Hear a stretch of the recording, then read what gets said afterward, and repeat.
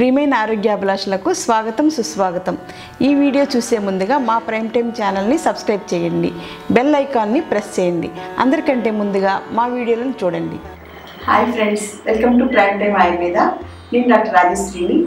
ఇవాళ మనం వంట గురించి వివరాలు తెలుసుకుందాం.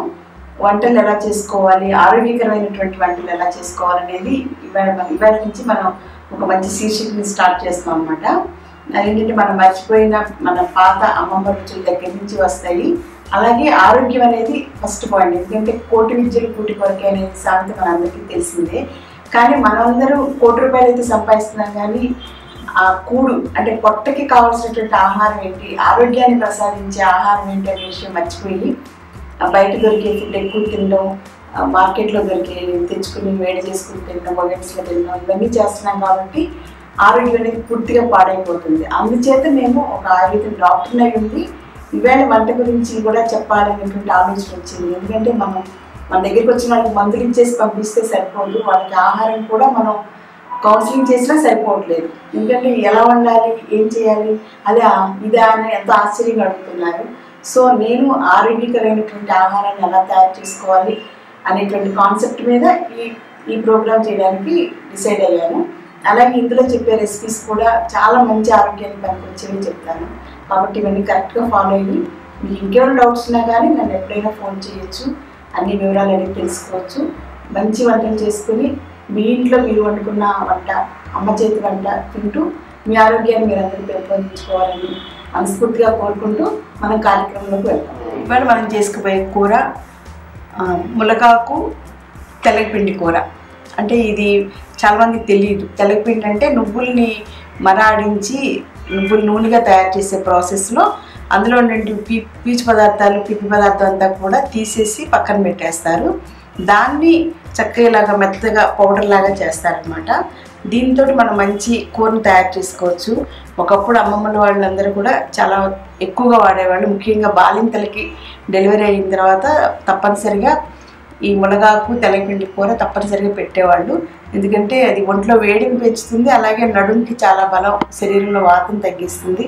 పిల్లలకు కూడా మంచి పాలు తయారవుతాయి కాబట్టి ఈ మునగాకు తెల్లపిండి కూర దాంతో మనం ఇవాళ మన వంటలు స్టార్ట్ చేస్తున్నాం. అందుకు కావాల్సింది తెలగపిండి తెలగపిండి బయట నూనె గానుగుల షాప్స్లో దొరుకుతుంది. అది తీసుకుని చాలా రోజులు వస్తుంది. వంద గ్రాములు తీసుకుంటే రెండు మూడు సార్లు ఈజీగా వండుకోవచ్చు. అలాగే మునగాకు. మునగాకు కూడా మనకి మన పక్కన మునగ చెట్లు అనేవి చాలా సాధారణంగా దొరుకుతాయి. లేకపోయినా కూరగాయల షాప్స్ వాళ్ళు కూడా ఈ మధ్య అమ్ముతున్నారు. ఇదైతే నేను నిన్న కూరగాయల మార్కెట్లో కొన్నది. ఈ ఆకు నాకు నచ్చలేదు. ఇది హైబ్రిడ్ ఆకు అని నాకు డౌట్గా ఉంది. కానీ ప్రస్తుతం ఇంకా అవకాశం లేదు కాబట్టి ఇది వాడుతున్నాను. యాక్చువల్గా మామూలు నాటు మునగాకైతే ఇంకా ఆకు చిన్నగా గట్టిగా స్ట్రాంగ్గా బాగుంటుంది. ఈసారి అది ఇప్పుడు అవకాశం వచ్చినప్పుడు చూపిస్తాను. అలాగే సింపుల్గా కొంచెం ఉల్లిపాయలు రెండు పచ్చిమిరపకాయ ముక్కలు. ఇంతే సింపుల్. ఒక ఆమ్లెట్ వేసుకున్నట్టుగా సింపుల్గా ఉల్ల ఉల్లిపాయ పచ్చిమిరపకాయలు కొంచెం మునగాకు కొంచెం తెల్లపిండి ఉంటే మనకి కూర రెడీ అయిపోతుంది. అలాగే మనం వండుకోవడానికి ఇంకో విశిష్టత ఏంటంటే మట్టి పాత్రలు. ఈ ఈ మట్టి పాత్రలో వంట అనేది రుచి కోసం అనుకుంటారు అందరూ కానీ ఆరోగ్యం కోసం. ఎందుకంటే మన పెద్దవాళ్ళు ఒకప్పుడు వాడినవి మట్టి పాత్రలు. అంటే లోహ పాత్రలు మట్టి పాత్రలు ఇత్తడి పాత్రలు బంగారు పాత్రలు ఇలా పాత రోజులు ఇలా ఈ నాలుగు వాడేవాళ్ళు. అందులో మట్టి పాత్రలు అత్యంత ఆరోగ్యప్రదం అని చెప్పేసి ఆయుర్వేదంలో చెప్పారు కాబట్టి ఈ మట్టి పాత్రలో వంటలు చేసుకోవడం ఎలాగా అనేది మీరు చూద్దలేరు ఎందుకంటే చాలామంది భయపడేది ఏంటంటే మట్టి పాత్రల్ని గ్యాస్ పై మీద పెట్టినప్పుడు గిన్నె కాలిపోద్దా మాడిపోద్దా పగిలిపోద్దా ఏమైపోద్ది? గ్యాస్ చాలా వేస్ట్ అయిపోతుందేమో? ఎక్కువసేపటికి కానీ వేడెక్కదు కదా అంత వేడెక్కాలంటే ఎలాగా? అని చాలా డౌట్స్ ఎప్పుడు నన్ను అడుగుతుంటారు పేషెంట్స్ చెప్తుంటే. ఇలా కాదు ఒక వీడియో చేసేస్తే చక్కగా వాళ్ళు హ్యాపీగా చూసుకుంటూ వంట చేసుకుంటారు ఆరోగ్యాన్ని పొందుతారు అనేటువంటి కాన్సెప్ట్ తోటి ఇలా స్టార్ట్ చేస్తాం అనమాట సో ఈ మట్టి పాత్రలో ఈ మునగాకు తెల్లపిండి కూర ఎలా చేయాలో ఇప్పుడు చూద్దాం. మొదట స్టవ్ మీద మట్టి పాత్రను ఉంచాలి. చిన్న మంట మీద ఉంచుకోవాలి. దానిలో రెండు స్పూన్లు నువ్వుల నూనె వేసుకోవాలి. ఈ ఈ నువ్వుల నూనె కొంచెం వేగాక అందులో తాలింపు దినుసులు అయినటువంటి వెల్లుల్లిపాయి జీలకర్ర ఎండుమిరపకాయలు ఆవాలు ఒకదాని తర్వాత ఒకటి వేస్తూ వేయిస్తూ ఉండాలి.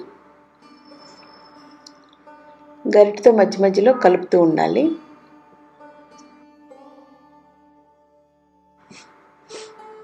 అందులో కరివేపాకు కూడా వేసుకుంటే మన తాలింపు దినుసులు వేయడం పూర్తయినట్టు. ఇవన్నీ వేగేటప్పుడు నువ్వుల నూనెలో వేగడం వల్ల నురగ వస్తుంది అదే రిఫైన్డ్ ఆయిల్స్ అయితే కనుక నురగ రాదు అది కూడా గమనించాలి. పొంగుతుంది నురగ వస్తుందని చెప్పేసి కంగారు పడవసరం లేదు. అలా పొంగు రావడం వల్ల అది ఒరిజినల్ నువ్వుల నూనె ఒరిజినల్ వేరుశెనగ నూనె అని మనకు తెలుస్తుంది అనమాట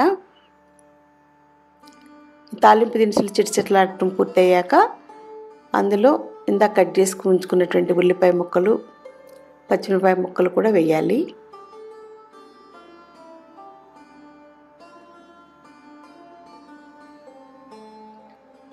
వేసి నెమ్మదిగా కలుపుతూ ఉండాలి.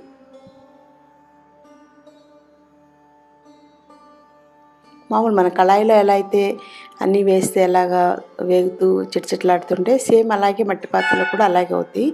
సో అందులో ఏమి కొత్తదనం కానీ భయపడాల్సింది కూడా ఏం లేదు. అవి కొంచెం వేగుతూ ఉండగా అప్పుడు మనకు కావాల్సిన పసుపును కూడా వేసుకుంటాం. పసుపు వేసి అయ్యాక అందులో మునగాకును కూడా కడిగేసేసి శుభ్రంగా ఒక వడకట్టే పాత్రలో వేసుకుని ఆ మునగాకును కూడా వేస్తాం అన్నమాట.